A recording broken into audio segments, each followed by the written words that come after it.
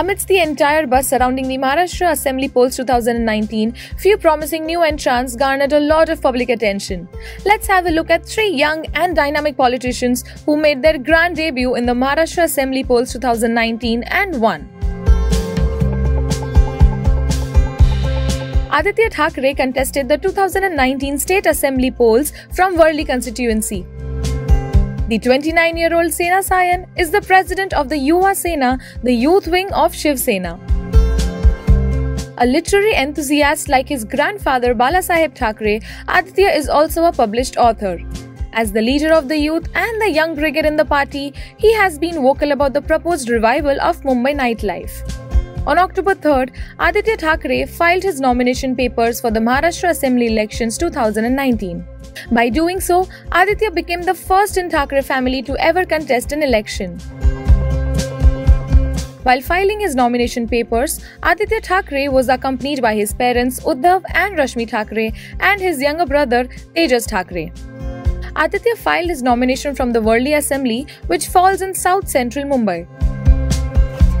At the time of filing his nomination papers for Maharashtra Assembly elections 2019, Aditya Thackeray declared his assets worth rupees 16.5 crore and stated that he has no liabilities.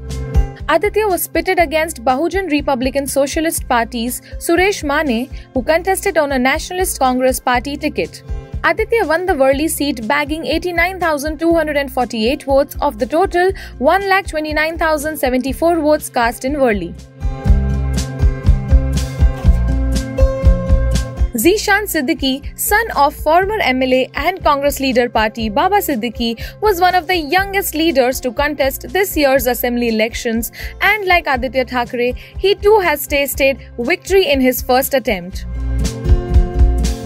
Zeeshan is currently the first General Secretary of Mumbai Pradesh Youth Congress and also a member of the Indian National Congress Party. Zeeshan Siddiqui contested the Maharashtra Assembly elections from the Bandra East constituency as a Congress candidate. Zeeshan, born to former Bandra West MLA and Congress leader Baba Siddiqui and his wife Shahzeen Siddiqui, also has a sister Arshia Siddiqui, who is a doctor by profession.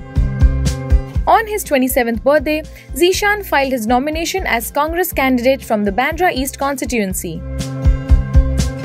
While filing his nomination, Zeeshan was accompanied by his father Baba Siddiqui and former MP Priya Dutt. The Congress youth leader was also seen campaigning for former MP Priya Dutt during the 2019 Lok Sabha elections. Dhiraj Vilasrao Deshmukh, the younger son of former CM Vilasrao Deshmukh, contested the state elections for the first time from Latur rural seat. The 36 year old has previously won the Maharashtra Zilla Parishad elections in 2017 from Ekurga from Latur Zilla Parishad. Dhiraj, who contested for the first time, was pitted against Sachin Deshmukh of Shiv Sena. His elder brother and two time MLA Amit Deshmukh also defended his Latur assembly seat.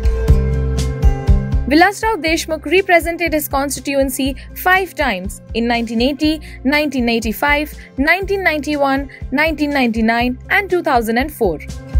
The Latur constituency has always been known as the stronghold of Vilasrao Deshmukh. Subscribe to Midday India. Get direct notifications on all our videos by clicking on the bell icon.